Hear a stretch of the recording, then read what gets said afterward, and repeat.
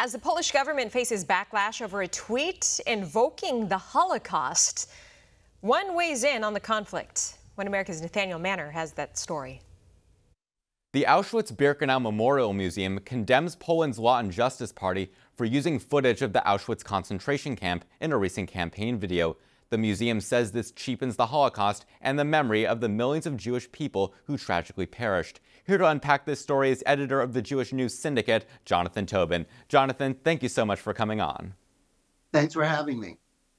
All right, so the Law and Justice Party put out the video in response to one of uh, uh, Andre Duda's critics, uh, Tomasz Lis, saying he belonged in a chamber. The video asks Polish citizens if they want to march under the Nazi banner.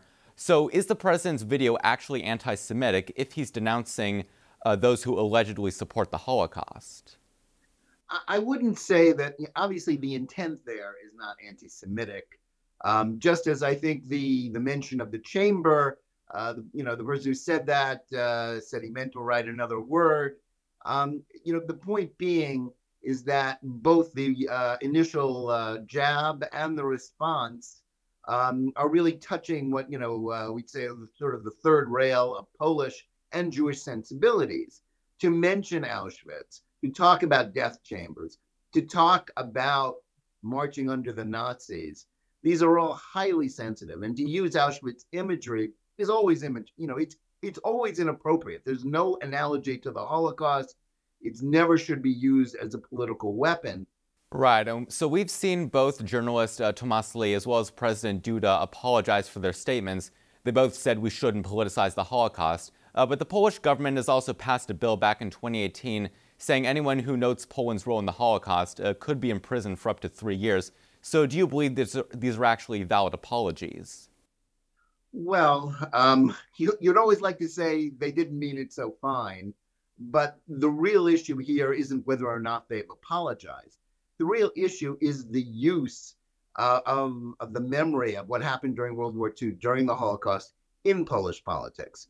What they're not right about is their hypersensitivity about any mention of Polish anti Semitism. Poland remains a country where anti Semitism is very strong. The, surveys of, of uh, measures of anti Semitism show, it very high, higher than most of its neighbors. And in the pre war era, and during the Holocaust, that anti Semitism was still there. Poles suffered, Poles fought, but Poles often, in some cases, collaborated with the Germans as far as um, trying to kill Jews. And indeed, when some Jews, uh, survivors, returned to their homes after the war, they were subjected to violence. So, you know, that's not something that Poles like to talk about. And to some extent, that that's justified. But their attempt to cover up the past leads to a lot of not just misunderstandings, but distortions of history. All countries have to be honest about their past, about their about what they're doing, and it has become certainly um, for I think all Polish parties, but especially the governing party, sort of an article of faith, never to speak about the dark side of Poland's past, only to speak about its suffering and its heroism. Um, I guess that's a human instinct, but it leads to um, the politicization of this memory, it leads to real anger on the part of Jews who have a historical memory of Polish anti Semitism and don't think it should be covered up. All right, well, you just heard from Jonathan Tobin of the Jewish News Syndicate. Jonathan, as always, it's great to have you on. For all our viewers asking where One America News is heading in the future, we would like to introduce you to OAN Live. OAN Live is the best way to stay up to date on all of the hard hitting, straight shooting, national, and international headlines and the best part is, OAN Live is only $4.99 per month. All the credible, honest, unbiased reporting One America News offers at a fraction of the cost of cable. Just go to OANN.com to easily sign up for OAN Live and stay informed.